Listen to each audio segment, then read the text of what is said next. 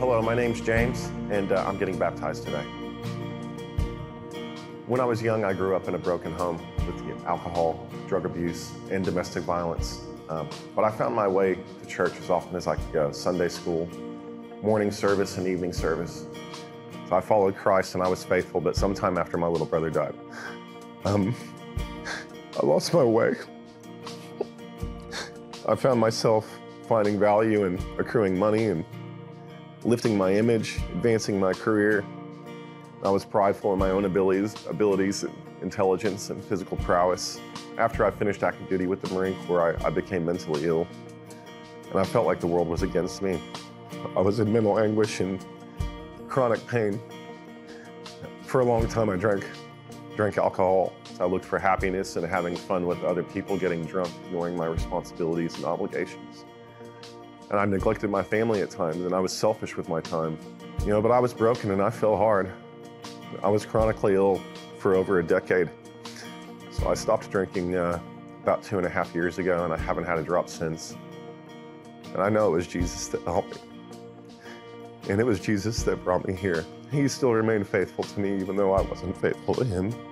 So I came to Lakeland from Australia to get some treatment from the VA in Tampa.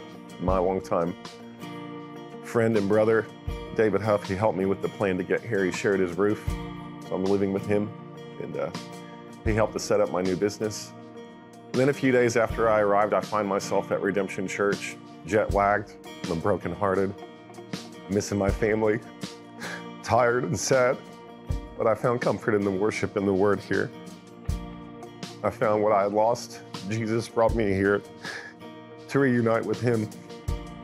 And since I found him again, I have been, you know, more patient, more kind, more thoughtful, less anxious and afraid, less sad, and I curse a whole lot less.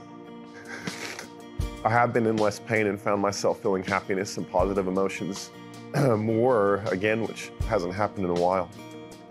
And uh, he has blessed me so much. He does, he comes through every time.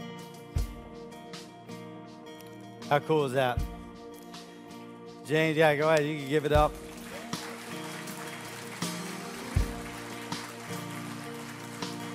James, I, uh, I'm grateful to God that He allows us to go on this journey together.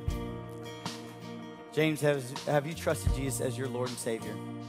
It's my honor to baptize you in the name of Father, Son, Holy Spirit, buried with Him, raised to walk in a new life.